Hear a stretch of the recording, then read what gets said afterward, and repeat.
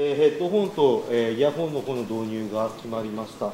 えー、ヘッドホンがこ、まあ、それぞれワンタイプということで、まあ、いわゆるそのいろんなお店にガーッと並べるというのは難しいかなとは思っているんですけれども、えヘッドホン、え HPH200、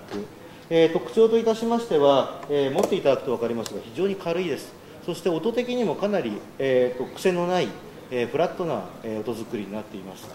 えー軽いというのは結構重要なことでして、あの実際これをですねさっきあの401とか351とかいうモデルにつけてサラウンド用のバーチャルサラウンドヘッドホンとして使っていただくとしますと映画1本見るのに2時間です、え、2時間ずっとヘッドホンかけてるっていうのは結構しんどいことでして、え、これがどんなに音がいいモデルでも軽いヘッドホンでないとかなり辛いっていうのがあります。まあ、我々としてはその辺も考えて、えー、軽めのヘッドホン、えー、ということにしています。ただしこれいわゆるオープンエアタイプ、えー、になってますので音的にはあのいわゆる音漏れはします、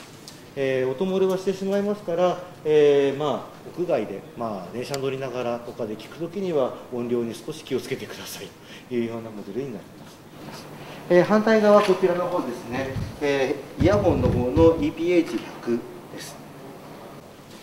えー、3モデルあるように見えますが1モデルです、えーと、ここのイヤーパッドの部分が、えー、3種類ついています、えー、小口径が細いもの中ぐらいのもの、えー、大きめのものになってまして、えー、これそれぞれに特徴があこれが結構特徴があります。まずこのイヤーパッド、えー、2枚になってます。この2枚を耳の中でこう要は少し曲げる感じでギューッて入れていた形によって、えー、外耳道をぴったり塞ぐことができます。